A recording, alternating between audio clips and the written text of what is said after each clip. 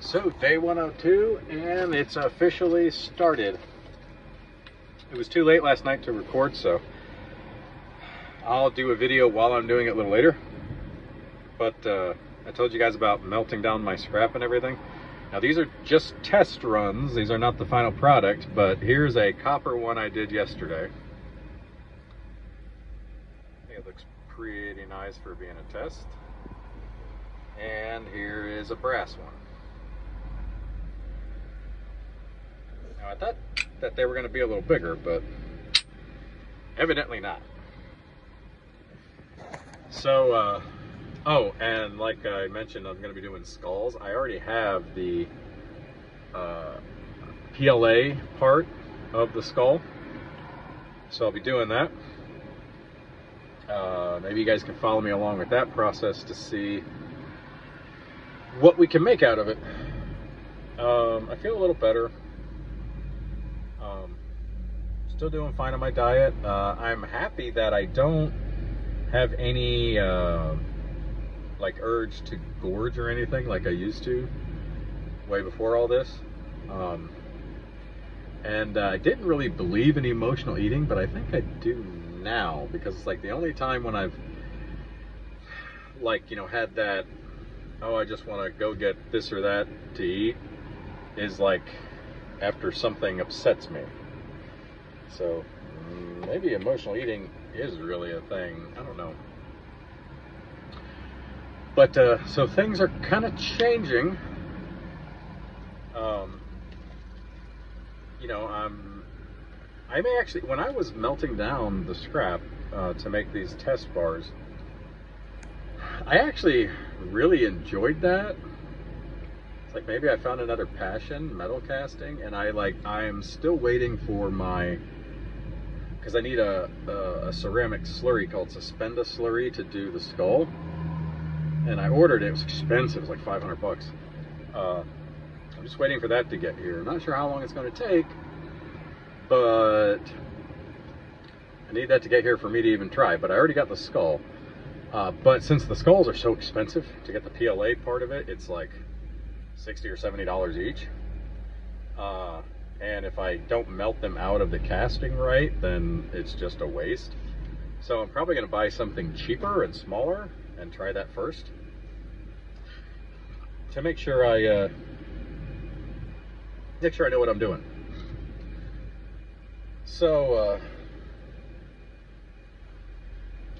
yeah, I also looked more into uh, the differences and prices of something similar to the skulls that I'm going to be doing, and they can go as much as three and four thousand dollars. So I'm actually kind of excited about that. See what I can make out of that. Uh, I know when I originally started, I had that kind of crazy goal of like 425,000. Um, and I have been praying more than I used to. Um, you know, maybe uh, this whole casting thing because I'm not really sure what sparked it. Um, like I know I saw online people what people are selling them for, but like to actually buy a melting forge and all this stuff and start doing it, maybe it was God's way of like, hey, this is what you're really supposed to be doing. Maybe I'm supposed to be a metal cast artist or something because I really enjoyed that. Um, but at any rate, still a learning experience because uh, as far as like the sanding and polishing, I found that I actually bought the wrong stuff. Um, the stuff that I bought will take substantially longer than buying the right stuff. So I gotta take that stuff back and buy the right stuff. But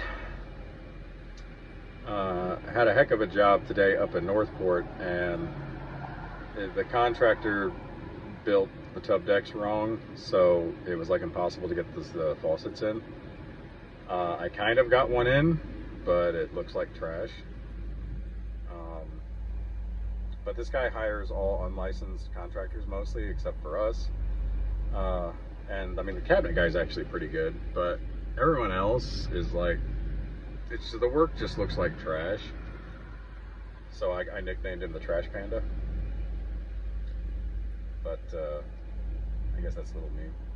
But then again, he didn't pay us for like three months, so I don't know. But so yeah, um, that's what's exciting, and uh, like I said, gonna start kicking my workouts way back up. But just been really, really super tired. Uh, maybe I'm still recovering. Uh, I do need to get more sleep, and I did start getting more sleep the other day. Normally, I kid you not, man, I don't go to bed until like one or two o'clock in the morning, and I get up between five and six. So I started to make a point, like by the time it gets to be like ten o'clock, I start to try to get, you know, the girls mellowed down and in bed, but they're little freaking unhinged lunatics, so it's like they'll still at nine and ten o'clock they'll be running around chasing each other. But uh, so yeah, tomorrow definitely I'm gonna get some uh, video of the whole metal casting thing.